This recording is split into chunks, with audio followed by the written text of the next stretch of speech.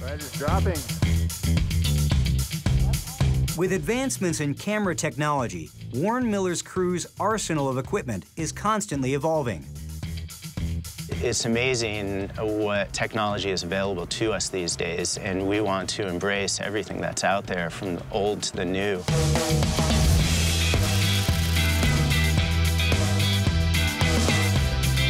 You're working with a Photosonics high-speed film camera, shooting 360 frames per second. Create a real dreamy feel there.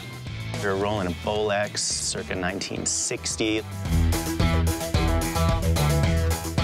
We used a really great camera system called Cineflex, which is a gyro-stabilized camera system that mounts to a helicopter.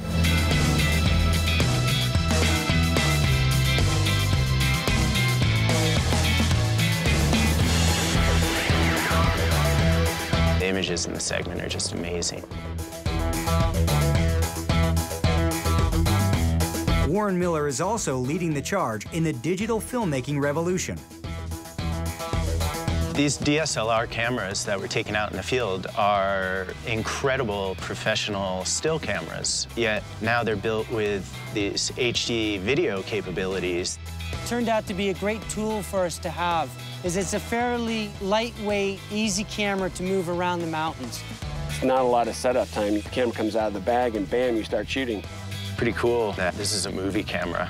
To get that level of quality into a camera this size, it's impressive. You know, we're mounting a Canon 7D with a wide-angle lens on people's chests and letting them rip through a powder run through the trees. You watch these shots and it gives you that adrenaline rush. You're in the moment.